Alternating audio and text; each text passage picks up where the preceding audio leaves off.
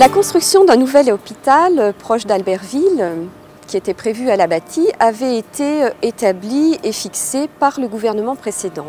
Ce gouvernement a décidé d'arrêter la construction d'un nouvel hôpital et simplement de rénover l'hôpital existant. Il est bien évident que nous nous battrons au niveau national et ce grâce à Hervé Guémard qui me soutient particulièrement, comme vous avez pu le voir, qui est sur ma liste. Grâce à Hervé Guémard, nous pourrons intervenir sur le plan national pour que nous ayons droit, pour que les Albertvillois aient droit à de vrais soins de qualité, à un vrai plateau technique étoffé, élargi, avec des soins comme l'oncologie, avec euh,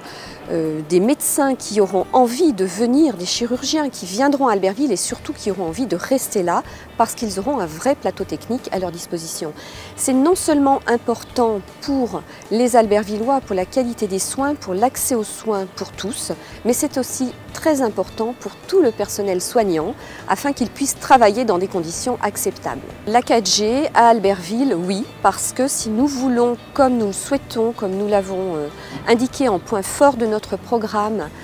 accueillir de nouvelles entreprises à Albertville, attirer des entreprises pour de l'emploi, il est absolument essentiel de pouvoir proposer ce service qui est indispensable pour les entreprises.